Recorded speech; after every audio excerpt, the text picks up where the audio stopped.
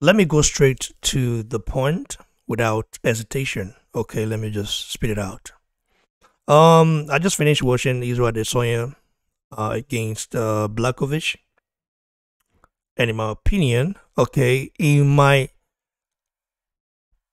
sincere opinion, Adesanya did not lose that fight. Adesanya won three rounds out of five. Of course, we know they gave that fight to Blachowicz because of the takedown, but the takedown wasn't the two takedowns are not enough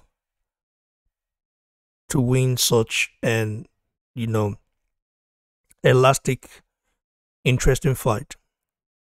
You know, Israel Adesanya landed more, you know, more kicks to uh, more leg kicks. He threw more leg kicks.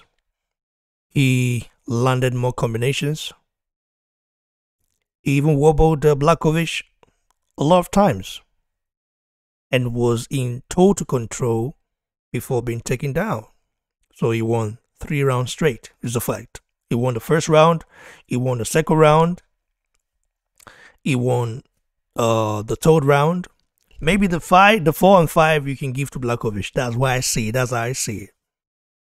Blachowicz didn't really do much other than the takedown. He, he was already gassed, you know, round two.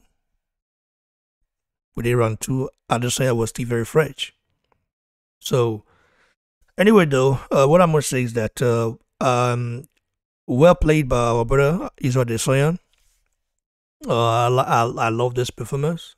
You know, it's just crazy that I think politics uh, played a part, and uh, this is a total robbery. This was a total robbery. This fight should have been a draw, at least maximum a draw. You know what I mean? But um, I guess the dark forces wanted to see Adesanya, uh, you know, have that oh, that that that that that uh, lose that do lose that um, that oh, and uh, yeah, what it is.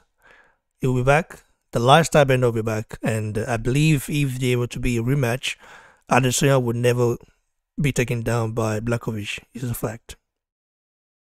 Anyway, guys, give your thoughts below. I just want to make it short. You know, I'm so definitely disappointed that Adesanya was robbed.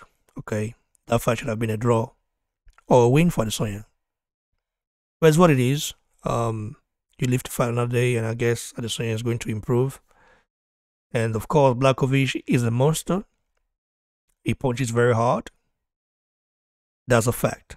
But Adesanya neutralized his advantage. The only thing Adesanya uh, couldn't do after he was tired was when, you know, he got taken down twice. And that's a fact. Stay blessed, guys. Cheers.